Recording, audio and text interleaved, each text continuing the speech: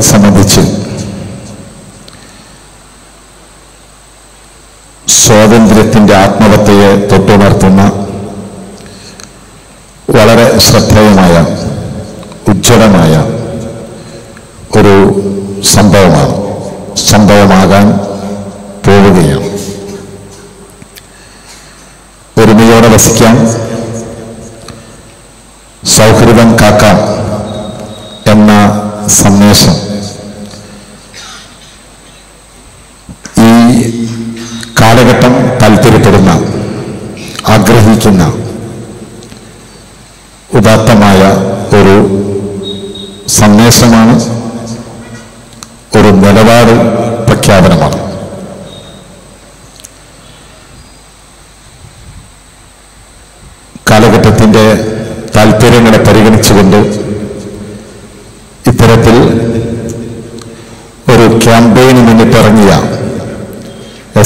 S S F സംസ്ഥാന കമ്മിറ്റിയെ ഞാൻ ഈ സന്ദർഭത്തിൽ പ്രത്യേകമായി അഭിനന്ദിക്കുകയാണ് ഈ പവിത്രമായ പള്ളിയുടെ പരിസരത്ത് ബഹുമാന്യരായ അഭിസംബോധനം ചെയ്യുമ്പോൾ നമ്മുടെ ആരുടെയും സ്മൃതി പദങ്ങളിലേക്ക് കടന്നു വരുന്ന ഒരുപാട് മഹത്തുക്കളുണ്ട്. അവരെ അനുസ്മരിക്കാതെ വാസ്തവത്തിൽ ഇവിടെ ഒരു വിശകലനവും ഒരു അപഗ്രഥനവും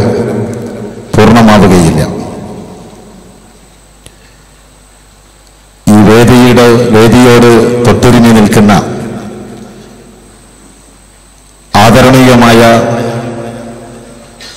ശ്മശാനത്തിൽ അമ്പിയുറങ്ങുന്ന മഹോജ്വലനായ ഒരു വ്യക്തിത്വം.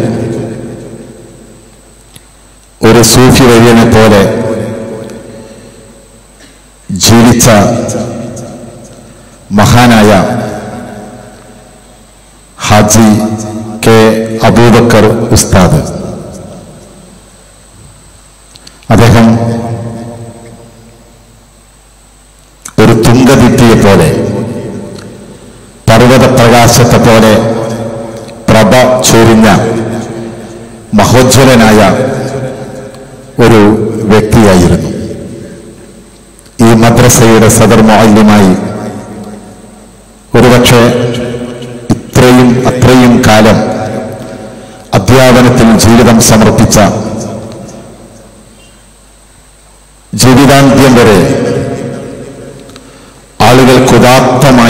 മാതൃകയായി പ്രശോഭിച്ച വ്യക്തിത്വങ്ങൾ കുറവാണ് മഹാനവറുകൾ ഈ സന്ദർഭത്തിൽ ഞാൻ അനുസ്മരിക്കുകയാണ്. ബഹുമാനപ്പെട്ട ചെറുശ്ശേരി ഉസ്താദിനെ തീർച്ചയായും ഈ പള്ളി അങ്കണത്തിൽ സംസാരിക്കുമ്പോൾ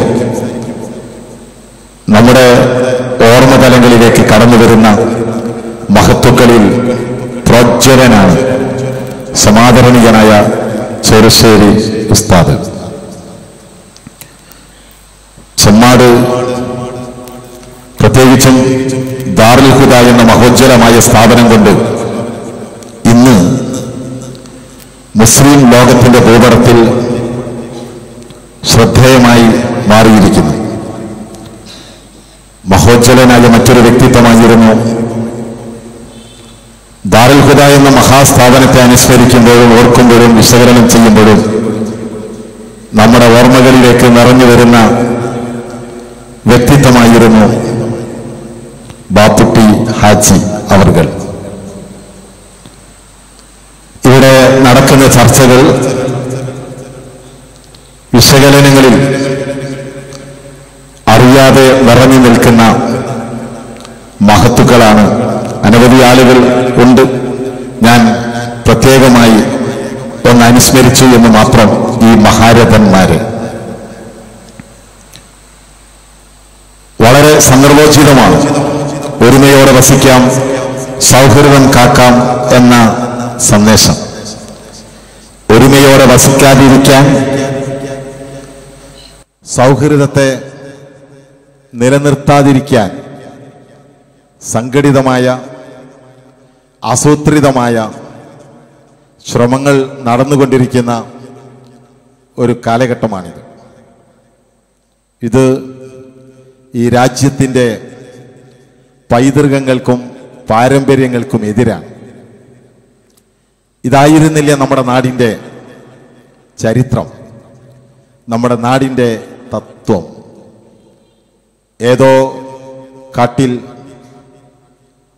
ഏതോ വൃക്ഷ ശിഖിരത്തിൽ തെല്ലിട നേരം വിശ്രമിക്കാനിരുന്ന കൊച്ചിളം പക്ഷികളുടെ നേർക്ക് ഒരു വേടൻ അമ്പെയ്യാൻ ഒരുങ്ങിയ സന്ദർഭത്തിൽ മാ നിഷാദ അരുത് വേട അരുത് കാട്ടാള എന്ന് വിലക്കിയ വാൽമീകി മഹർഷിയുടെ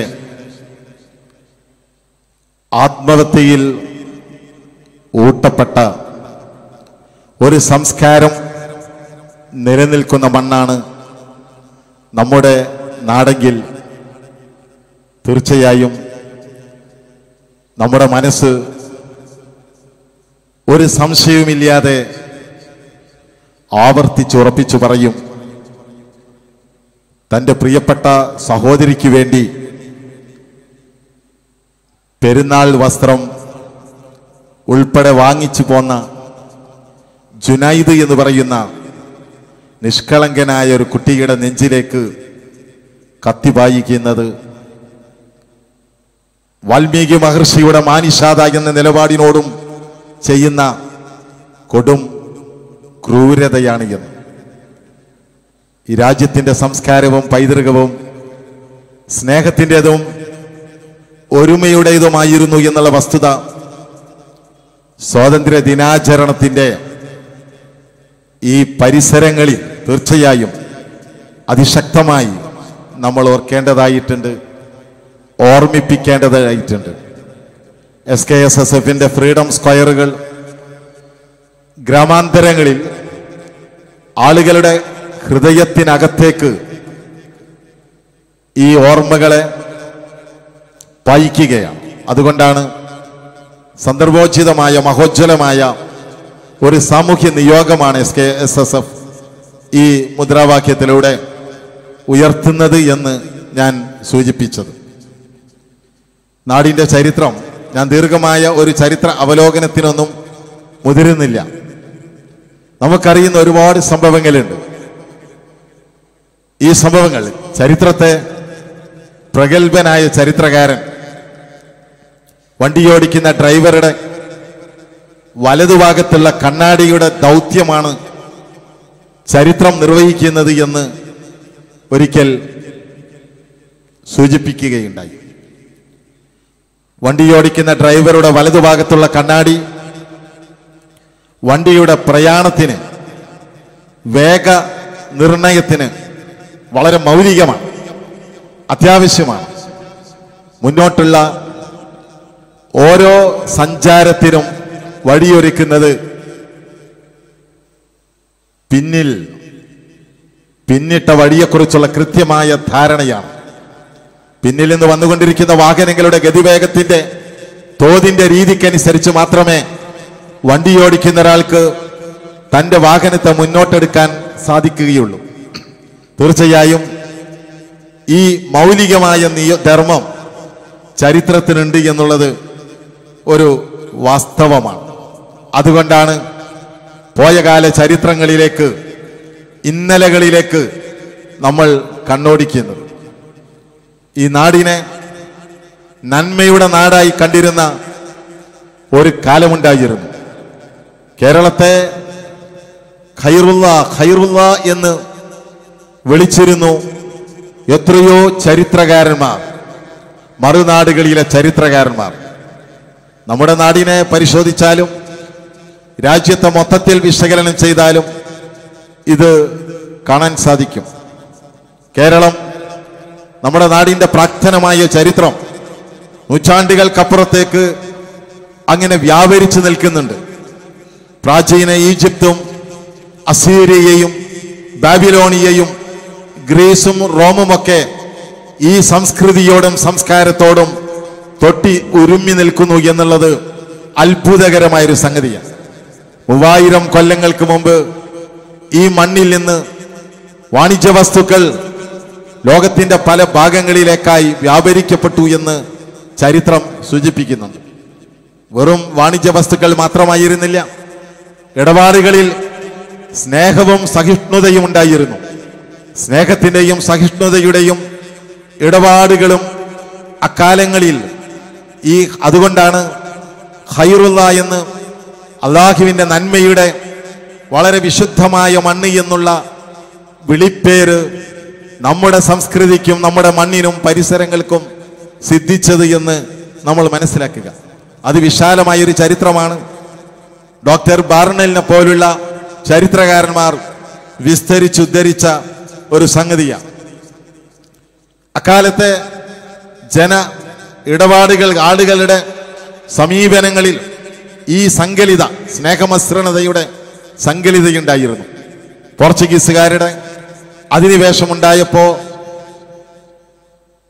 ഷെയ്ഖ് സൈനുദ്ദീൻ മക്തും തങ്ങൾ ഖദ്ദസല്ലാഹു സിറവൽ അസീസ് ബഹുമാനപ്പെട്ട ഷെയ്ഖ് സൈനുദ്ദീൻ മക്തും തങ്ങളുടെ ഷെയ്ഖുൽ ഇസ്ലാം അബൂ യഹയ്യ സൈനുദ്ദീൻ സൈനുദ്ദീൻ ബിനു അലി എന്ന സൈനുദ്ദീൻ മക്തും തങ്ങളുടെ പ്രതിരോധത്തിന്റെ ആഹ്വാനം ഉയർന്നു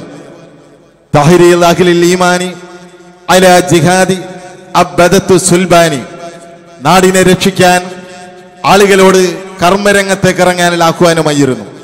ഈ ആഹ്വാനം ഏതെങ്കിലും ഒരു സമുദായത്തെ മാത്രം ഉദ്ദേശിച്ചു കൊണ്ടായിരുന്നില്ല മുഴുവൻ ജനതതികളോടായിരുന്നു. പോർച്ചുഗീസുകാരുടെ അതിക്രൂരമായ നിലപാടുകൾക്കെതിരെ ഈ പ്രതിരോധത്തിന്റെ സമരാഹ്വാനം ഉയർന്നപ്പോൾ നാട് മുഴുവൻ ഒന്നിച്ച് അതിനെ നെഞ്ചകത്തിൽ ഏറ്റെടുത്തു എന്നുള്ളത് ആവേശകരമായ ഒരു ചരിത്രമാണ്. ഒരുപാട് വസ്തുതകൾ നമ്മെ ബോധ്യപ്പെടുത്തുന്ന ഒരു യാഥാർത്ഥ്യമാണ്. തുടർന്നാണ് കൊച്ചിയിലെ വർത്തക കുടുംബമായിരുന്ന കുഞ്ഞാലി കുടുംബം. കുഞ്ഞാലി എന്നത് ആ ജനങ്ങൾക്ക് നൽകപ്പെട്ട ജനങ്ങളേക്ക് വിളിക്കപ്പെട്ട ജനങ്ങളെ വിളിച്ച സ്നേഹത്തിന്റെ പ്രയോഗമായിരുന്നു. അരുമപ്പെട്ടവൻ എന്നായിരുന്നു ആ വാക്കിന്റെ അർത്ഥം. ഒരുപാട് സഹോദരങ്ങൾ. അതിൽ ഫറൂഖ് ഫാറൂഖ് മരിക്കാറുണ്ട് മുഹമ്മദ് മരിക്കാറുണ്ട് മമ്മാലി മരിക്കാറുണ്ട്. ഒരുപാട് മരക്കർ സഹോദരന്മാർ വലിയ കച്ചവടക്കാരായിരുന്നു. ആയിരത്തോളം പടയാളികൾ സ്വന്തമായി ഉണ്ടായിരുന്ന നൂറിലേറെ കപ്പലുകൾ സ്വന്തമായി ഉണ്ടായിരുന്ന ഭരിക്കാൻ കൊച്ചി രാജാവിന് പണം കടം കൊടുക്കാറുണ്ടായിരുന്ന വലിയ വർദ്ധക കുടുംബമായിരുന്നു മരക്കാർ കുടുംബം. ബഹുമാനപ്പെട്ട ഷെയ്ഖ് സൈനുദ്ദീൻ തങ്ങളുടെ ആഹ്വാനം ഉയർന്നപ്പോൾ തങ്ങളുടെ എല്ലാ ഏർപ്പാടുകളും അവസാനിപ്പിച്ചുകൊണ്ട് ആ കുടുംബം പൊന്നാനിയിലേക്ക് വന്നു. അവിടുന്ന് തങ്ങൾ അവരുടെ ആഹ്വാനം ശ്രവിച്ചുകൊണ്ട് ആവശ്യ അംഗീകരിച്ചു മാനിച്ചുകൊണ്ട് ആ കുടുംബം കോഴിക്കോട്ടേക്ക് ചെന്നു. സാമൂതിരി സ്നേഹത്തോടുകൂടി ആ കുടുംബത്തെ സ്വീകരിച്ചു.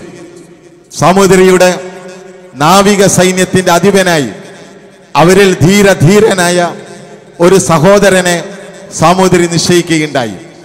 പിന്നിട്ട കാലത്ത് എങ്ങനെയായിരുന്നു? പരസ്പരം സങ്കലിച്ചിരുന്നത് ഇടപെട്ടിരുന്നത് എന്നുള്ളതിന്റെ ഏറ്റവും ഉത്തമമായ ഒരു ഉദാഹരണമായിരുന്നു അത്. ഇന്നും കേരള തനിമ എന്ന നിലയിൽ ആവേശത്തോടും അഭിമാനത്തോടും കൂടി നമ്മളൊക്കെ നെഞ്ചകത്തിൽ കാത്തു സൂക്ഷിക്കുന്ന നെഞ്ചകത്തിൽ ഏറ്റിരിക്കെ ഏറ്റ നമ്മളെ ഏറ്റുപിടിക്കുന്ന ഈ സഹിഷ്ണുതയുടെയും ഐക്യത്തിന്റെയും ഒക്കെ തുടക്കങ്ങളായി വാസ്തവത്തിൽ ഈ സംഭവത്തെ നമുക്ക് കാണാവുന്നതാണ്. എത്ര ഒരുമയോടുകൂടി. ആ ഒരുമയുടെ കൂട്ടായ്മയുടെ പരിശ്രമ ഫലമായിട്ടായിരുന്നു ചാലിയത്ത് പോർച്ചുഗീസുകാരുണ്ടാക്കിയ കോട്ടയെ തകർത്ത് തരിപ്പണമാക്കിയത്. ആ സംഭവം പോർച്ചുഗീസ് അധിനിവേശക്കാരെ ഈ നാട്ടിൽ നിന്ന് തുരത്താൻ ഏറ്റവും നിർണായകമായി ഭവിക്കുകയുണ്ടായി ചാലിയങ്കോട്ടയുടെ പതനം. ബഹുമാനപ്പെട്ട ഷെയ്ഖ് സൈനുദ്ദീൻ തങ്ങളുടെ മകൻ സയ്യദ് അബ്ദുൽ അസീസ് മാളിബരി ആയിരുന്നു ആ സമരത്തിന് നേതൃത്വം കൊടുത്ത ധീരധീരരിൽ ഒരാൾ. സാമൂതിരിയുടെ നായർ പടയാളികളായിരുന്നു അതിന് പിൻബലം നൽകിയിരുന്നത്. ഷെയ്ഖ് അബ്ദുൽ അസീസ് മായിബരിയുടെ നിയോഗവും ദൗത്യവും സാമൂതിരിയുടെ നായർ പടയാളികളും ഒരു വലിയ ജനസഞ്ചയത്തിന്റെ പിന്തുണയും പിൻബലവും ഒരുമിച്ച് ചേർന്ന് പോർച്ചുഗീസ് അധിനിവേശത്തെ ഈ മണ്ണിൽ നിന്ന് തുരത്തി ഓടിക്കാൻ വലിയ തോതിൽ ത്യാഗം അവർ വരിക്കുകയുണ്ടായി. ഞാൻ സൂചിപ്പിക്കുന്നത് അങ്ങനെയുള്ള ഉജ്ജ്വലമായൊരു സംഭവം നമ്മുടെ പോയ കാല ചരിത്രത്തിലുണ്ട്. ഈ സംഭവം ചാലിയങ്കോട്ടയുടെ പതനത്തെ ആസ്പദിച്ചുകൊണ്ടാണ് മഹാനായ കാദി മുഹമ്മദ് എന്ന മഹോജ്വലനായ പണ്ഡിതൻ ഫത്തുഹൽ മുബീൻ എന്ന പുസ്തകം രചിച്ചത്. അത് പ്രാർത്ഥനയുടെയും അത് പ്രകീർത്തനങ്ങളുടെയും ഗ്രന്ഥമാണ്. ഫത്തുഹുൽ മുബീൻ മഹത്തായ വിജയം. ആ പ്രാർത്ഥനയിൽ ആ ആ അനുമോദനത്തിന്റെയും പ്രാർത്ഥനയുടെയും പ്രകീർത്തനത്തിന്റെയും വരികളിൽ ഏറ്റവും അധികം നിറഞ്ഞു നിൽക്കുന്നത് സാമൂതിരിയുടെ പേരാണ് എന്ന് കൂടി നമ്മൾ ഓർക്കുക. ആ വരികളിലുണ്ട് സാമൂതിരിക്ക് ദീർഘായുസ് നൽകണമേ പടച്ചവനെ എന്നുള്ള പ്രാർത്ഥന. ആ വരികളിലുണ്ട് സാമൂതിരിയുടെ മാതൃക സ്വീകരിക്കാൻ മറ്റു രാജാക്കന്മാർക്കും മറ്റു സുൽത്താൻമാർക്കും ചില സുൽത്താൻമാരെ പേരെടുത്ത് പറയുന്നുണ്ട്. സുൽത്താൻമാർക്ക് ഉദവി നൽകണമേ പടച്ചവനെ. ആ പ്രാർത്ഥനയിൽ തന്നെ ഹിന്ദുവായ അമുസ്ലിമായ സാമൂതിരിക്ക് വേണ്ടി പടച്ചവനെ നീ ദീർഘായുസ് നൽകി ആയുരാരോഗ്യം നൽകി ശക്തിപ്പെടുത്തണേ എന്നുള്ള പ്രാർത്ഥനയുണ്ട്. അത് ഒരു കാലഘട്ടം ഒരു സമൂഹം നെഞ്ചിലേറ്റിയ സ്നേഹവായ്പകളുടെയും വായ്പകളുടെയും സ്നേഹമസൃണതകളുടെയും സഹിഷ്ണുതയുടെയും സമ ഒരുമിച്ച് വസിക്കാമെന്നാണല്ലോ നമ്മൾ ഉയർത്തുന്നത് ആളുകളോട് ആവശ്യപ്പെട്ടുകൊണ്ടിരിക്കുന്നത്. ഒരുമിച്ച് വസിക്കുന്ന ഒരുമിച്ച് ഒരുമിച്ചിരിക്കുന്ന ഒരുമിച്ച് ഇടപെടലുകൾ നടത്തിക്കൊണ്ടിരിക്കുന്ന നിലപാടുകളുടെ ഉദാത്തീയമായൊരു മാതൃകയായിരുന്നു. എത്രയെത്ര സംഭവങ്ങൾ നമുക്ക് ഉദാഹരിക്കാനുണ്ട്. എത്രയെത്ര സംഭവങ്ങൾ ആവേശകരമായ കാര്യങ്ങൾ. ഞാൻ മറ്റൊരു കാര്യം സാന്ദർഭികമായി ഓർക്കുകയാണ്. അത് പര പഴശ്ശിരാജ നമ്മളൊക്കെ അഭിമാനത്തോടുകൂടി അനുസ്മരിക്കുന്ന കേരളത്തിന്റെ ധീരസന്തതികളിൽ ഒരാളായിരുന്നല്ലോ പഴശ്ശിരാജ അദ്ദേഹവുമായി ബന്ധപ്പെട്ട ഒരു സംഭവമുണ്ട്. അദ്ദേഹം കുറ്റിയാടിയിലേക്ക് വന്ന സംഭവം ആ പേര് പോലും ഉണ്ടായത് അദ്ദേഹം ആ പ്രദേശത്തേക്ക് എത്തിച്ചേർന്ന കാവിലമ്പാറ എന്ന പേരിൽ മരുതോങ്കര എന്ന പേരിലൊക്കെ അറിയപ്പെട്ടിരുന്ന പ്രദേശമാണ്. പടശ്ശി ആ നാട്ടിലെത്തുന്നത് പഴശ്ശി ബ്രിട്ടീഷുകാരുമായുള്ള യുദ്ധത്തിലാണ്. അത്ര പിന്നിട്ട ദീർഘകാലത്തെ സംഭവമൊന്നുമല്ല. പഴശ്ശിയുടെ സമരം ആരംഭിക്കുന്നത് ആയിരത്തി എണ്ണൂറ്റി അഞ്ചിലാണ് ആയിരത്തി എണ്ണൂറ്റി പതിനഞ്ചിൽ അത് അവസാനിക്കുകയും ചെയ്തു പഴശ്ശിയുടെ മരണത്തോടുകൂടി. കാവിലമ്പാറയിൽ ഒരു ദിവസം പഴശ്ശി തന്റെ വീട്ടിൽ ഒരു ശീലമുണ്ടായിരുന്നു. മഹാരാജാവാണെങ്കിലും രാജാവാണെങ്കിലും ഭരണാധികാരിയാണെങ്കിലും ഉച്ചയ്ക്ക് അമ്മ വിളമ്പിക്കൊടുക്കുന്ന കഞ്ഞിയായിരുന്നു കുടിച്ചിരുന്നത്. നാളികേരം ചുരണ്ടിയിടാറുണ്ടായിരുന്നു കഞ്ഞിയിൽ. ഒരു ദിവസം ഉച്ചയ്ക്ക് കഞ്ഞിയിൽ നാളികേരം കാണാതെ വന്നപ്പോൾ പഴശ്ശി അമ്മയോട് അകത്തേക്ക് വിളിച്ചു ചോദിക്കുന്നു എന്തുകൊണ്ടാണ് അമ്മേ നാളികേരം കഞ്ഞിയിലില്ലാത്തത് അമ്മ അല്പം ശാസന രൂപത്തിൽ പഴശ്ശിയോട് പറഞ്ഞു നീ യുദ്ധവും സമരവുമായിട്ടൊക്കെ നടക്ക്. കാവിലമ്പാറ നാളികേരമൊക്കെ വേണ്ടപ്പെട്ടവർ കൊണ്ടുപോകുന്നുണ്ട്. പ്രസിദ്ധമായ നാളികേരമായിരുന്നു കാവിലമ്പാറ പ്രദേശത്തെ നാളികേരം. അപ്പോഴാണ് പഴശ്ശി അറിയുന്നത് തന്റെ നാട് തന്റെ ഭൂപരിധിക്കകത്ത് പല നാട്ടുരാജാക്കന്മാരും ഉയർന്നു വന്നിട്ടുണ്ട്. കാര്യങ്ങളറിയാൻ പഴശ്ശി കാവിലമ്പാറയിലേക്ക് വരുന്നു. വേഷപ്രച്ഛന്നനായിക്കൊണ്ട്. പഴശ്ശി ഒരു പടന്തുണിയുടെ കമ്പിളിക്കെട്ട് തലയിലേറ്റി പുതപ്പ് കച്ചവടക്കാരനായിക്കൊണ്ടാണ് കാവിലമ്പാറയിലേക്ക് വന്നത്. അവിടെ അദ്ദേഹം ഒരു പുതപ്പ് കച്ചവടക്കാരനാണ്. കച്ചവട ആവശ്യാർത്ഥം തമ്പ് കെട്ടുകയാണ്. ആ തമ്പിന് വേണ്ടി അവിടെ സൗകര്യപ്രദമായൊരു പ്രദേശ ഭാഗത്ത് കുറ്റിയടിക്കുകയാണ്. ദിവസങ്ങൾ പഴശ്ശിയെ നാട്ടിൽ കാണാതായപ്പോ ആളുകൾ പരസ്പരം ചോദിക്കുന്നു പഴശ്ശി എവിടെ? ആളുകൾക്ക് അവർ ഉദ്വേഗത്തോടു കൂടി ചോദിക്കുകയാണ്. ബ്രിട്ടീഷുകാരുമായി സമരത്തിലാണ്. പഴശ്ശി എങ്ങാൻ ചതിയിൽ കൊല്ലപ്പെട്ടു പോയോ എന്നായിരുന്നു ആളുകളുടെ ഉത്കണ്ഠ. പഴശ്ശി എവിടെ എന്ന ചോദ്യത്തിന് ആളുകൾ തന്നെ അറിയുന്ന ആളുകൾ മറുപടി കൊടുത്തു കുറ്റിയടിക്കാൻ പോയതാണ്. കുറ്റിയാടി എന്ന സ്ഥലനാമം പോലും ഇങ്ങനെയാണ് ലോപിച്ചുണ്ടായത് എന്ന് ആ നാട്ടിലുള്ള ആളുകൾ പറയുന്നു. ഞാനിവിടെ സൂചിപ്പിക്കുന്നത് മറ്റൊരു കാര്യമാണ്. പഴശ്ശി കൂടെ കൂട്ടിയത് അബ്ദുള്ള എന്ന ചെറുപ്പക്കാരനെയായിരുന്നു. ഒരു ദിവസം വെള്ളിയാഴ്ച നമസ്കാരത്തിന് പോയ അബ്ദുള്ള ഒരുപാട് വൈകിയാണ് തിരിച്ചെത്തിയത്.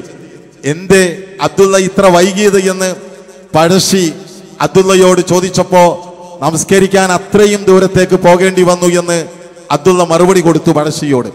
അപ്പോൾ നമസ്കരിക്കാൻ സമീപത്തൊന്നും സൗകര്യമില്ലേ എന്ന് അബ്ദുള്ളയോട് പഴശ്ശി തിരിച്ചു ചോദിച്ചു. അങ്ങനെയാണ് മരുതോങ്കരയിൽ പഴശ്ശി അബ്ദുള്ളയുടെ നമസ്കാര സൗകര്യത്തിനു വേണ്ടി ഉണ്ടാക്കിയ പള്ളി കാലങ്ങളോളം ആ നാട്ടുകാരുടെ കേന്ദ്ര പള്ളിയായി പരിണമിക്കുകയുണ്ടായി. ഈ നാടിന്റെ പിന്നിട്ട ചരിത്രത്തിൽ ഇതുപോലുള്ള എത്ര സംഭവങ്ങളുണ്ട് എന്ന് നമ്മൾ മനസ്സിലാക്കുക. ഇന്ന് നമുക്ക് ആളുകളോട് താഴ്മയോടുകൂടി വിനയത്തോടുകൂടി അവരുടെ നെഞ്ചിലേക്ക് ഇറങ്ങിച്ചെന്നുകൊണ്ട് ഒരുമയോടെ വസിക്കാം സൗഹൃദം കാക്കാം എന്ന് നമുക്ക് അഭ്യർത്ഥിക്കേണ്ടതായി വരുന്നു. സൗഹൃദം കാത്തിരുന്ന ഒരുമയോടെ വസിച്ചിരുന്ന ഒരു പാരമ്പര്യം നമുക്കുണ്ടായിരുന്നു എന്ന് നമ്മൾ മനസ്സിലാക്കുക. ആ പാരമ്പര്യത്തിന്റെ പരിസരങ്ങളിൽ നിന്നുകൊണ്ട് തന്നെയാണ് ആത്മീയ കേരളത്തിന്റെ തുങ്കദീപ്തിയായിരുന്ന അഭിമാനമായ മഹാനായ കുതുബുസമാൻ സയ്യിദ് അൽവി തങ്ങൾ ബഹുമാനപ്പെട്ട തങ്ങളവറുകളും ഈ സമൂഹത്തെ നയിച്ചിരുന്നത് ആ പരിസരത്ത് നിന്നുകൊണ്ടായിരുന്നു. ബഹുമാനപ്പെട്ട തങ്ങളവറുകളുടെ പ്രൈവറ്റ് സെക്രട്ടറി എന്ന് പറഞ്ഞാൽ അന്നത്തെ കാര്യസ്ഥൻ കോന്തു നായർ എന്ന സഹോദരനായിരുന്നു. ലക്ഷണമൊത്ത ഗടാഗടികൻ മാപ്പിളമാരെ പ്രൈവറ്റ് സെക്രട്ടറിമാരാക്കാൻ കാര്യസ്ഥന്മാരാക്കാൻ ബഹുമാനപ്പെട്ട മമ്പുറം തങ്ങൾക്ക് കിട്ടാതെ വന്നതുകൊണ്ടായിരുന്നില്ല കോന്തു നായരെ തന്റെ കാര്യസ്ഥനാക്കിയത്. അതൊരു സന്ദേശമായിരുന്നു. നമുക്കറിയാമല്ലോ എത്ര എത്ര പള്ളികൾക്ക് ശിലാസ്ഥാപനം സ്ഥലം നിർണയിച്ചു കൊടുത്ത മഹോജ്വലനായിരുന്നു ബഹുമാനപ്പെട്ട തങ്ങളവറുകൾ. കൊടിഞ്ഞി പള്ളി പ്രസിദ്ധമാണ്. ബഹുമാനപ്പെട്ട തങ്ങൾ അവരുടെ നാമവുമായി വളരെ അഭേദ്യമായ ബന്ധമുള്ള കൊടിഞ്ഞിപ്പള്ളിയിലും ബഹുമാനപ്പെട്ട തങ്ങൾ തങ്ങളവറുകൾ പള്ളിക്കകത്തിരിക്കുമ്പോൾ തന്റെ കാര്യസ്ഥനായ കോന്തു നായർ പള്ളിയുടെ പൂമുഖത്തിരിക്കാ ഇരിക്കുമായിരുന്നു. കോന്തു നായരോട് ചോദിച്ചായിരുന്നു ബഹുമാനപ്പെട്ട തങ്ങൾ അവരുടെ തീയതിയും സമയവും സൗകര്യവും ആളുകൾ കുറിച്ചു കൊണ്ടുപോയിരുന്നത് എന്നുള്ളത് പോയകാല ചരിത്രമാണ് എന്ന് നമ്മൾ മനസ്സിലാക്കുക. അതായിരുന്നു പിന്നിട്ട നാടിന്റെ പാരമ്പര്യമെന്ന് അതായിരുന്നു പിന്നിട്ട നാടിന്റെ സംസ്കൃതി എന്ന് അതായിരുന്നു പിന്നിട്ട നാൾവഴുതികളിലെ ഒരുമിച്ചുള്ള കൂട്ടായ്മകളുടെ പ്രോജ്വല പാതകളെന്ന് നാം മനസ്സിലാക്കുക. ഇത് പുതിയ തലമുറയ്ക്ക് പറഞ്ഞു കൊടുക്കേണ്ടതായി വരുന്നുണ്ട്. എത്രയോ ഉദ്ധരിക്കപ്പെട്ട ഒരു സംഭവമാണ് മലയാളത്തിന്റെ പ്രിയങ്കരനായ കവി ഇടശ്ശേരി ഗോവിന്ദൻ നായർ അദ്ദേഹത്തിന്റെ കുട്ടിക്കാലത്തെക്കുറിച്ച് അദ്ദേഹം എടുത്തുദ്ധരിച്ച ഒരു സംഭവം. അദ്ദേഹത്തിന്റെ ഞാനിത് ഇവിടെ നമുക്കറിയുന്ന കാര്യമാണ്. ഒരുപക്ഷെ ആവർത്തിച്ചാവർത്തിച്ച് നമ്മൾ കേട്ടതായിരിക്കാം. മലയാളത്തിന്റെ പ്രിയങ്കരനായ ഇടശ്ശേരി അലവി എന്ന സുഹൃത്തിനെ കുറിച്ച് പറയുന്നുണ്ട്. ഇടശ്ശേരി സാമാന്യം ഭേദപ്പെട്ട നായർ കുടുംബാംഗമായിരുന്നു. അവിടെ ഒരു കച്ചവടക്കാരന്റെ മകനായിരുന്നു അലവി. ഇടശ്ശേരി നായർ കുടുംബാംഗമാണ്. അക്കാലത്തെ സാമൂഹ്യ വ്യവസ്ഥിതിയുടെ എന്തോ കാരണങ്ങളാൽ വളരെ ദരിദ്രമായൊരു കുടുംബത്തിലായിരുന്നു ഇടശ്ശേരി. പക്ഷേ വെളിയിലേക്ക് പുറമേക്ക് സമ്പന്നമായ കുടുംബമായിരുന്നു. അകം ദാരിദ്ര്യത്തിന്റെയും വേദനയുടെയും നെരിപ്പോടായിരുന്നു. പല ദിവസങ്ങളിലും ഇടശ്ശേരി പ്രാതൽ കഴിച്ചിരുന്നില്ല. ചെറിയ ക്ലാസ്സിൽ പഠിക്കുന്ന സമയ സമയമാണ്.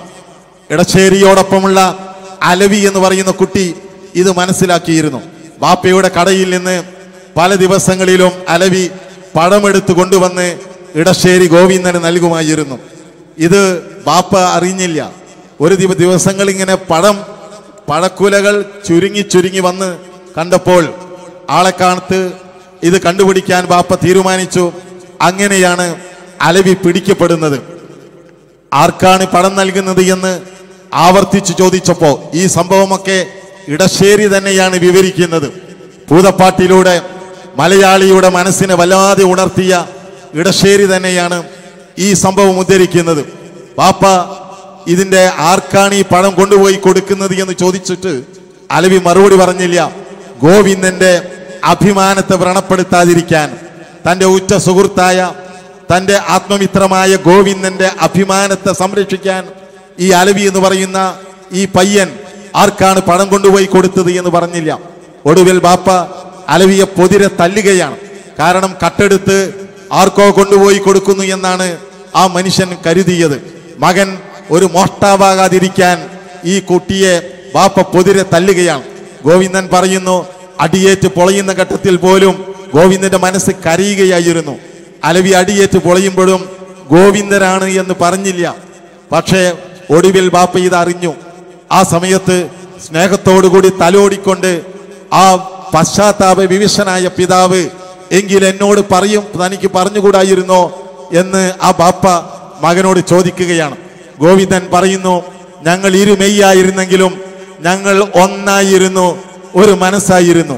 കാലം വളർന്നപ്പോ കാലം മുന്നോട്ട് പോയപ്പോ ഗോവിന്ദൻ മലയാളത്തിന്റെ പ്രിയപ്പെട്ട കവിയായി മാറി സാഹിത്യ നായകനായി മാറി അലവിയ നാട്ടിലെ ഒരു പൗരമുഖ്യനായി മാറുകയുണ്ടായി. ഞങ്ങൾ എത്രയോ ഒരുമിച്ച് തോളോട് തോൾ ചേർന്നുകൊണ്ട് തോളുകളിൽ ഞങ്ങൾ പരസ്പരം കൈകളൂന്നി എത്രയോ ഞങ്ങൾ ഒറ്റയടി പാതയിലൂടെ ഗ്രാമത്തിലെ ഒറ്റയടി പാതകളിലൂടെ ഞങ്ങൾ നടന്നു പോയിരുന്നു എന്ന് ഗോവിന്ദൻ എടശ്ശേരി ഗോവിന്ദൻ നായർ പറയുന്നു. ഞാനിത് സൂചിപ്പിക്കുന്നത് ഇതായിരുന്നു ഈ നാടിന്റെ സംസ്കാരമെന്ന് നാടിന്റെ പാരമ്പര്യമെന്ന് നമ്മൾ മനസ്സിലാക്കുക. ഇങ്ങനെയുള്ള ഒരു ചരിത്ര പാരമ്പര്യം ഒരു സംസ്കൃതി ഒരു പരിസരം വാസ്തവത്തിൽ നാം എഴുന്നു നിൽക്കുന്ന ഈ മണ്ണിലുണ്ട് എന്നുള്ളതൊരു വാസ്തവമാണ്.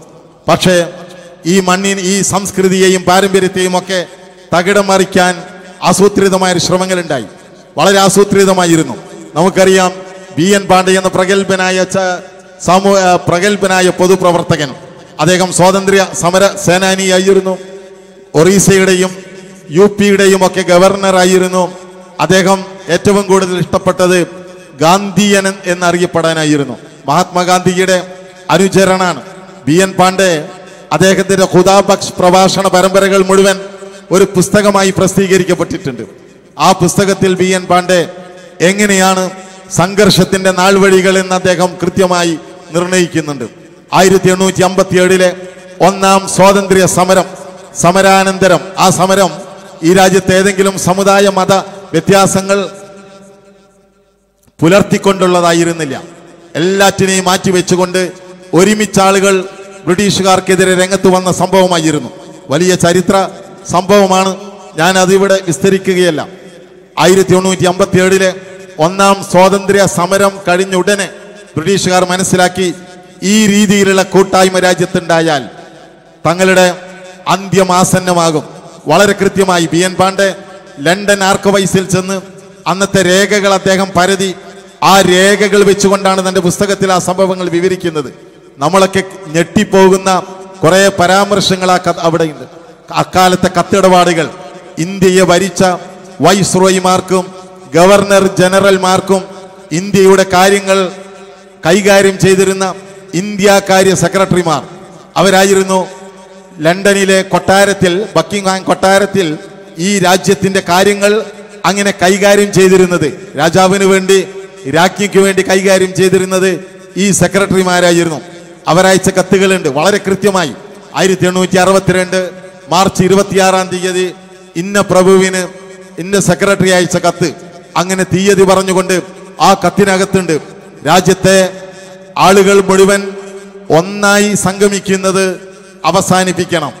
ആളുകൾക്കിടയിൽ വിഭജനം ഉണ്ടാക്കണം. നമ്മൾ ഒരു ക്ലീഷയെ പോലെ നമ്മളങ്ങനെ ഉദ്ധരിക്കുന്ന ഡിവൈഡ് ആൻഡ് റൂൾ ഇന്നും നാളെയും മറ്റന്നാളും ഒക്കെയായി എത്രയോ ആവർത്തിക്കപ്പെടാൻ സാധ്യതയുള്ള പ്രയോഗമാണല്ലോ ബ്രിട്ടീഷുകാരുടെ ഡിവൈഡ് ആൻഡ് റൂൾ ആ ഡിവൈഡ് ആൻഡ് റൂളിന്റെ ആ നാൾവഴികൾ ബി എൻ പാണ്ഡെ ചൂണ്ടിക്കാണിക്കുന്നുണ്ട്. രാജ്യത്തെ വിഭജിക്കുക. ഒരു ഇന്ത്യകാര്യ സെക്രട്ടറി മിസ്റ്റർ വുഡ് എന്നു പേരായ ഇന്ത്യകാര്യ സെക്രട്ടറി കഴ്സൺ പ്രഭുവിനോട് ആവശ്യപ്പെടുന്നുണ്ട്. ഈ രാജ്യത്തെ വിഭജിക്കാൻ താങ്കൾ ഇനിയും ശ്രമിക്കാതിരിക്കുന്ന പക്ഷം അപകടകരമായ തിരിച്ചടികൾക്ക് നമ്മൾ വിധേയമാകും. അതുകൊണ്ട് മതത്തിന്റെ പേരിൽ രാജ്യത്തെ വിഭജിക്കുക. കേഴ്സൺ പ്രഭു വളരെ കൃത്യമായി ആ ദൗത്യം നിർവഹിക്കുകയുണ്ടായി. അങ്ങനെയാണ് ആയിരത്തി തൊള്ളായിരത്തി അഞ്ചിൽ ബംഗാൾ വിഭജനമുണ്ടായത്. ഞാൻ സൂചിപ്പിക്കുന്നത് ഇങ്ങനെയുള്ള എത്രയെത്ര സംഭവങ്ങൾ ഈ സംഘർഷങ്ങളുടെ സംഭീതമായ ഒരവസ്ഥയുണ്ടാക്കാൻ ലോകത്തെവിടെയും സാമ്രാജ്യത്വം ആ രീതിയിലുള്ള ശ്രമങ്ങൾ ഉണ്ടാക്കി ഇപ്പോൾ സംഘർഷത്തെ ഏറ്റെടുത്തിരിക്കുന്ന ആളുകൾ സംഘട്ടനങ്ങളെ ഏറ്റെടുത്തിരിക്കുന്ന ആളുകൾ വർഗീയത ഏറ്റെടുത്ത ആളുകൾ ഈ ബ്രിട്ടീഷ് പാരമ്പര്യത്തെ അനുധാവനം ചെയ്യുകയാണ് എന്നുള്ളത് നിസ്തർക്കമായ ഒരു വസ്തുതയാണ്. ബ്രിട്ടീഷ് പാരമ്പര്യത്തെ അനുതാപനം ചെയ്തുകൊണ്ട് ആർക്കാണ് രാജ്യസ്നേഹികളാവാൻ സാധിക്കുക എന്ന് നമ്മൾ തിരിച്ചു ചോദിക്കുന്നു. അനുബന്ധമായൊരു മറ്റൊരു കാര്യമുണ്ട്. വർഗീയത എന്നത് പ്രതിലോമപരത എന്നത് വാസ്തവത്തിൽ സാമ്രാജ്യത്വത്തിന്റെ ഉൽപ്പന്നമാണ്. വംശീയത സാമ്രാജ്യത്വത്തിന്റെ ഉൽപ്പന്നമാണ്. രണ്ടാം ലോകമഹായുദ്ധാനന്തരമാണ് സോഷ്യൽ ആന്ത്രോപോളജിയെ ഉപയോഗിച്ചുകൊണ്ട് വംശീയ വ്യത്യാസങ്ങളുടെ നൂലിഴകളെ പർവതീകരിച്ചുകൊണ്ട് ലോകത്ത് വംശീയ വ്യതിര വ്യതി- വ്യതിരക്തതകൾ ഈ പറയുന്ന സാമ്രാജ്യത്വത്തിന്റെ തന്നെ യുദ്ധ തന്ത്രജ്ഞന്മാരുണ്ടാക്കിയത്. ആഫ്രിക്കയെ പോലുള്ള വൻകരകളിൽ വലിയ തോതിലുള്ള വംശീയ അതിർ രേഖകൾ ഉണ്ടാക്കി വേർതിരിവുകൾ ഉണ്ടാക്കി അതുകൊണ്ടാണ് കാരിരുമ്പിന്റെ കരുത്തുണ്ടായിരുന്ന ആഫ്രിക്കൻ ജനത കുത്സു വംശമായി തുത്സു വംശമായി അസംഖ്യം വംശീയതകളായി പരസ്പരം ചേരിതിരിഞ്ഞ് ഇന്നും ആഫ്രിക്കയുടെ ദുരന്തം എന്ന് പറയുന്നത് ഈ ചേരിതിരിവിന്റെ പരസ്പരമുള്ള സംഘർഷത്തിന്റെ രക്തപ്പുഴകളാണ് എന്ന് നമ്മൾ മനസ്സിലാക്കുക. ആളുകൾ ഒന്നാകാതിരിക്കാൻ ആസൂത്രിതമായ ശ്രമങ്ങൾ ഉണ്ടായി ജനതതികളെ പരസ്പരം തമ്മിൽ അടിപ്പിക്കുകയുണ്ടായി. ആ തന്ത്രം വളരെ സമർത്ഥമായി ഇപ്പോഴും ഉപയോഗപ്പെടുത്തിക്കൊണ്ടിരിക്കുന്നു. അതുകൊണ്ടാണ് സംഘർഷങ്ങളുടെയൊക്കെ പിന്നാമ്പുറങ്ങളിൽ സാമ്പ്രായത്വത്തിന്റെ അജണ്ടകളുണ്ട് എന്ന് കൃത്യമായി നാം വിരൽ ചൂണ്ടി പറയുന്നത്. അതുകൊണ്ട് തന്നെയാണ് സംഘർഷങ്ങളുടെ പ്രതിരോധം സംഘർഷമല്ല എന്ന് നമ്മൾ പറയുന്നത്. സംഘർഷങ്ങളെ പ്രതിരോധിക്കേണ്ടത് സംഘർഷങ്ങൾ കൊണ്ടല്ല എന്ന് പറയുന്നത്. വർഗീയതയെ പ്രതിരോധിക്കേണ്ടത് വർഗീയത കൊണ്ടല്ല എന്ന് പറയുന്നത്. വർഗീയതയെ പ്രതിരോധിക്കാൻ വർഗീയതയെ പ്രയോജനപ്പെടുത്തണമെന്നുള്ളത് സാമ്രാജ്യത്വത്തിന് തന്നെ ചിന്ത ഒരു തത്വമാണ്. ഞാൻ ദീർഘിപ്പിക്കുകയില്ല. ഫ്രാൻസിസ് മുക്കൂയാമയുടെ ഒരു പരാമർശമുണ്ട്. അത് ഞാൻ സാന്ദർഭികമായി മാത്രം പരാമർശിക്കുകയാണ്. ഇന്ത്യക്കെതിരെ പാകിസ്ഥാനെ ശക്തിപ്പെടുത്തണമെന്ന് ഫ്രാൻസിസ് ഫുക്കുയാമയും സാമുവൽ ഹണ്ടിക്ടനും ഒക്കെ അമേരിക്കൻ സാമ്രാജ്യത്വത്തിന്റെ ബുദ്ധിരാക്ഷസന്മാരാണ്. അവരാണ് സംഘർഷങ്ങളുടെ പ്രത്യേക ശാസ്ത്രം അമേരിക്കയെ ബോധിപ്പിച്ചതും അമേരിക്കൻ ഭരണാധികാരികളെ പഠിപ്പിച്ചതും. ജോർജ് ബുഷുമാരും അതിനു മുമ്പുണ്ടായിരുന്നവരും റൊണാൾഡ് റീഗനും പിമ്പുണ്ടായ ആളുകളും ഇപ്പോഴത്തെ ഡൊണാൾഡ് ട്രംപും ഒക്കെ ഈ പ്രത്യേക ശാസ്ത്രത്തെ അനുധാവനം ചെയ്തവരാണ്. ലോകത്ത് സംഘർഷത്തിന്റെ സംവീതകൾ വിതച്ചുകൊണ്ട് ആളുകളെയും ജനവിഭാഗങ്ങളെയും തമ്മിലടിപ്പിച്ചാൽ അതിന്റെ പഴുതുകളിലൂടെ സാമ്രാജ്യത്വത്തിന്റെ കമ്പോള താല്പര്യങ്ങൾ സുഭകമായി സഞ്ചരിക്കുമെന്ന് കൃത്യമായി മനസ്സിലാക്കിയാണ് ഈ പ്രത്യേക ശാസ്ത്രങ്ങളൊക്കെ ഉണ്ടായത് എന്ന് മനസ്സിലാക്കുക. ഒന്നുകൂടി പറഞ്ഞുകൊണ്ട് ഞാൻ അവസാനിപ്പിക്കുന്നു. ലോകത്ത് ഏറ്റവും വലിയ ഫാസിസ്റ്റ് അഡോൾഫ് ഹിറ്റർ ആണ് എന്നാണല്ലോ നമ്മളൊക്കെ വിചാരിച്ചത്. എന്നാണല്ലോ നമ്മളൊക്കെ പറഞ്ഞു വരാറുള്ളതും. അദ്ദേഹം വലിയ സെമിറ്റിക് വിരോധിയായിരുന്നു എന്നാണല്ലോ നമ്മളൊക്കെ കരുതിയതും. ഹിറ്റ്ലറുടെ മരണാനന്തരം അദ്ദേഹത്തിന്റെ വസതി ഉൾപ്പെടെയുള്ള എല്ലാ സങ്കേതങ്ങളും അരിച്ചുപെറുക്കി പരിശോധനയ്ക്ക് വിധേയമാക്കപ്പെട്ടപ്പോൾ അത്ഭുതകരമായ പല സംഗതികളും പുറത്തു വരികയുണ്ടായി. അതിലൊന്ന് ലോകത്തെ ഏറ്റവും കൊടിയ ജൂത തീവ്രവാദികളുമായി അഡോൾഫ് ഹിറ്റ്ലർക്ക് ഉണ്ടായിരുന്ന അടുത്ത ബന്ധമായിരുന്നു. വൺ നോട്ട് വൺ ഇർഗൂൺ തുടങ്ങിയ ജൂത വലതുപക്ഷ തീവ്രവാദികളുമായി അഡോൾഫ് ഹിറ്റ്ലർക്ക് കറസ്പോണ്ടൻസ് ഉണ്ടായിരുന്നു കത്തിടപാടുകൾ ഉണ്ടായിരുന്നു. എന്ന് പറഞ്ഞാൽ അതിന്റെ അർത്ഥം എന്താണ്? അതിന്റെ പൊരുൾ എന്താണ്? ലോകത്തെ എല്ലാ സംഘർഷങ്ങളുടെയും ലോകത്തെ എല്ലാ വംശീയ വെറികളുടെയും ലോകത്തെ എല്ലാ വർഗീയതകളുടെയും പിന്നാമ്പുറങ്ങളിൽ സാമ്രാജ്യത്വ താല്പര്യങ്ങളുണ്ട് എന്ന് ഒന്നുകൂടി വളരെ കൃത്യമായി വ്യക്തമാക്കുന്നു ഈ സംഭവം. അപ്പോൾ നമ്മൾ മനസ്സിലാക്കുക അതുകൊണ്ട് തന്നെ വർഗീയതയെ പ്രതിരോധിക്കാൻ വർഗീയതയെ ആയുധമാക്കിക്കൊണ്ട് രാജ്യസ്നേഹം പൂർത്തീകരിക്കപ്പെടില്ല എന്ന് മനസ്സിലാക്കുക. പകരം ആളുകളുടെ മനസ്സിലേക്ക് സ്നേഹ സാമീപ്യങ്ങളുടെ സൗഹൃദങ്ങളുടെ സഹിഷ്ണുതയുടെ സന്ദേശങ്ങൾ നമ്മൾ നൽകുക. ആളുകളെ ഒരുമിച്ചിരുത്തുമ്പോൾ ആളുകളെ സ്നേഹത്തോടു കൂടി ഒരുമിച്ച് കൂട്ടുമ്പോൾ അത്ര കണ്ടെങ്കിലും അവർക്കിടയിലുള്ള വൈരങ്ങൾ അവർക്കുള്ള വേർതിരിവുകൾ അവസാനിക്കുന്നു. അതുകൊണ്ടാണ് അയൽപക്ക ബന്ധങ്ങളെ ശക്തിപ്പെടുത്തുക എന്ന് നമ്മൾ ആവശ്യപ്പെട്ടുകൊണ്ടിരിക്കുന്നത്. എസ് കെ എസ് എസ് എഫിന്റെ ഒരുമയോടെ വസിക്കാം സൗഹൃദം കാക്കാം എന്നുള്ള സന്ദേശം തീർച്ചയായും നല്ല സൗഹൃദത്തിൽ അധിഷ്ഠിതമായ അയൽപക്ക ബന്ധങ്ങളെ ഉണ്ടാക്കും. നമ്മുടെ നാടിൽ നിന്ന് നമ്മുടെ സൽക്കാരങ്ങളും കല്യാണങ്ങളും ഒത്തുകൂടലുകൾ പോലും ബോധപൂർവമായ വലിയ സാമൂഹിക നിയോഗങ്ങളായി മാറ്റിയെടുക്കേണ്ട ഒരു സാഹചര്യത്തോളം സംഗതികൾ മാറിക്കൊണ്ടിരിക്കുന്ന ഒരു അവസ്ഥയാണല്ലോ നമുക്ക് ചുറ്റുമുള്ളത്. ആ അവസ്ഥയെ മുന്നിൽ കണ്ടുകൊണ്ട് തന്നെ ഈ സന്ദേശത്തെ പ്രാവർത്തികമാക്കാൻ നമ്മൾ മുന്നോട്ട് വന്നാൽ അത് ഈ രാജ്യത്തോട് ചെയ്യുന്ന വലിയ ഒരു നീതിയായിരിക്കും.